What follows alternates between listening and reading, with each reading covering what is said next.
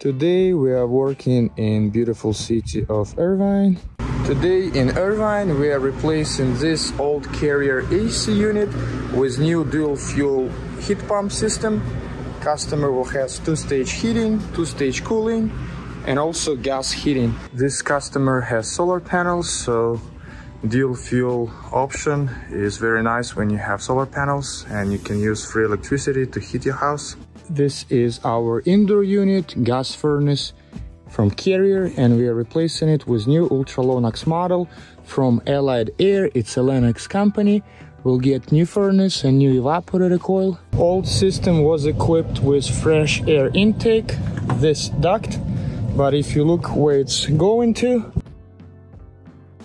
it just ends right there in the attic sucking in fiberglass insulation so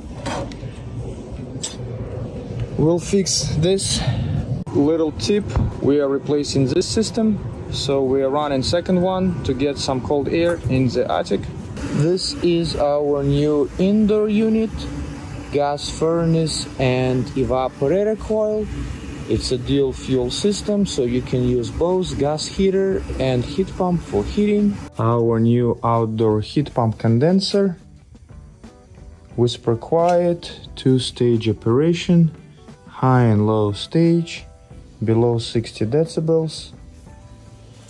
Line wrapped with UV cover, service disconnect box with surge protector. It's your thermostat, right? Uh-huh. You can connect it to Wi-Fi Uh-huh. and everything but you see you can go to setting Yeah. and then you can go to equipment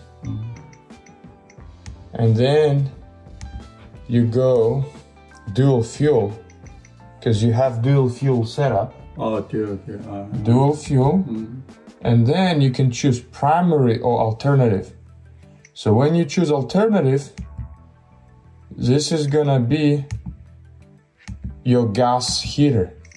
So now when i want to turn it on in heat our gas heater is gonna run. Uh, yeah. and if you choose primary your heat pump Mm-hmm. will will heat your house and it will use electricity. Uh, So right now I will just test it for make sure your gas furnace is running.